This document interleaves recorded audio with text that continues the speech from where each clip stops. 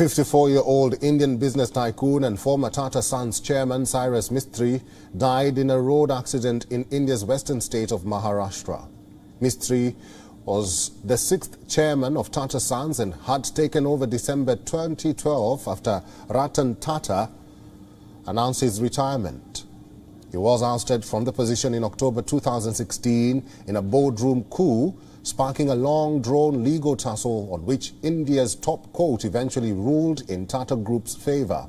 As per reports, the accident took place on the Mumbai-Ahmedabad National Highway after the car hit a divider in Maharashtra's Palghar district, neighboring Mumbai. Police say Mistry was traveling from Ahmedabad to Mumbai and the accident took place at around 3.15 p.m. Indian Standard Time.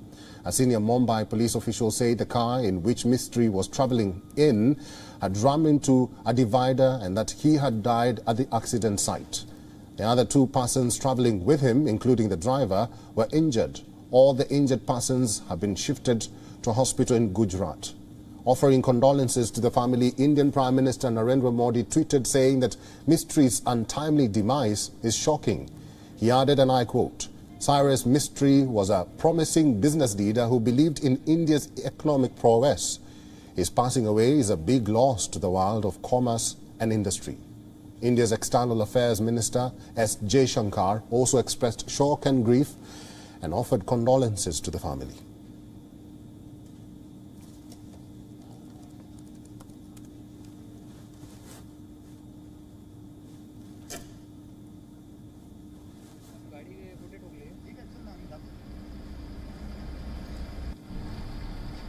WION is now available in your country. Download the app now and get all the news on the move.